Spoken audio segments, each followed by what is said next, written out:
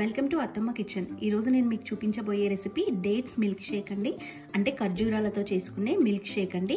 చాలా టేస్టీగా ఉంటుంది డైట్ చేసే వాళ్ళకి బాగా యూజ్ అవుతుందండి ఇది.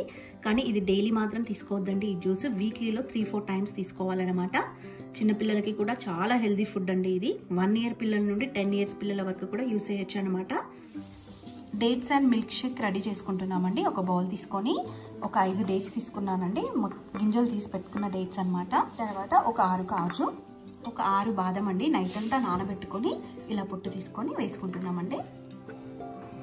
టీ కప్పుతో ఒక కప్పు మిల్క్ అండి. హాట్ మిల్క్ అనమాట వేసుకొని ఒక ట్వంటీ మినిట్స్ అలాగే నానబెట్టేసుకోవాలన్నమాట. డ్రై ఫ్రూట్స్ని అందులో. చాలండి. ఇరవై నిమిషాల తర్వాత చూడండి ఇలా కలిపేసుకొని ఇప్పుడు మనము మిక్సీ పట్టేసుకుందామండి. పేస్ట్ లాగా చేసేసుకుందాం దీన్ని. చూడండి ఇప్పుడు మనము దీన్ని పేస్ట్ లాగా పట్టేసుకుందామండి మిక్సీ జార్లో. చూడండి ఖర్జూరాన్ని బాదంని కాజుని పేస్ట్ చేసి పెట్టుకున్నామండి. ఇప్పుడు మనము మిల్క్ షేక్కి ప్రిపేర్ చేసుకున్నాం చూడండి పేస్ట్ పెట్టి పక్కన పెట్టేసుకున్నాం కదండి.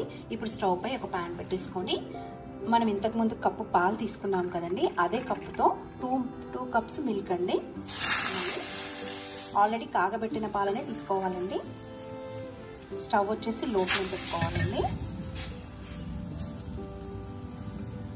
చూడండి పాలు వేసుకున్న తర్వాత ఇంతకుముందు పేస్ట్ చేసి పెట్టుకున్నాం కదా అదంతా ఇప్పుడు ఇందులో వేసేసుకొని మెల్లిగా కలుపుతూ ఉండాలండి. స్టవ్ మాత్రం లో ఫ్లేమే ఉండాలండి.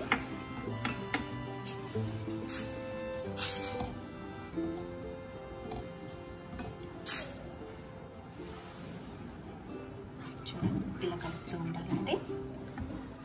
మంచి హెల్తీ ఫుడ్ అండి. డైట్ కూడా చాలా బాగా యూజ్ అవుతుంది. ఈ షేక్ వచ్చేసి పిల్లలకి కానీ పెద్దవాళ్ళకి కానీ ఇలా ఈవినింగ్ మిల్క్ ప్లేస్లో ఇలా చేసిస్తే చాలా బాగుంటుంది.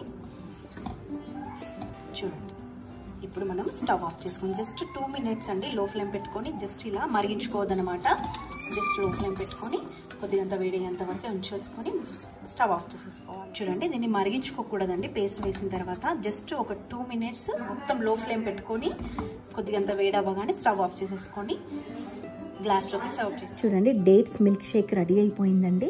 మనం దీన్ని ఫ్రిడ్జ్లో కూడా జస్ట్ ఒక ట్వంటీ మినిట్స్ వరకు పెట్టుకొని చల్లగా తాగాలనుకుంటే తాగొచ్చు అనమాట ఎక్కువసేపు ఏదైనా స్టోర్ చేసుకోకూడదండి. మిల్క్ సంబంధించింది చేయదగ్గుతుందనమాట జస్ట్ ట్వంటీ మినిట్స్ సరిపోతుంది. లేదంటే జస్ట్ వామ్గా ఉన్నప్పుడు తాగేసేయచ్చు అనమాట మంచి హెల్దీ ఫుడ్ అండి.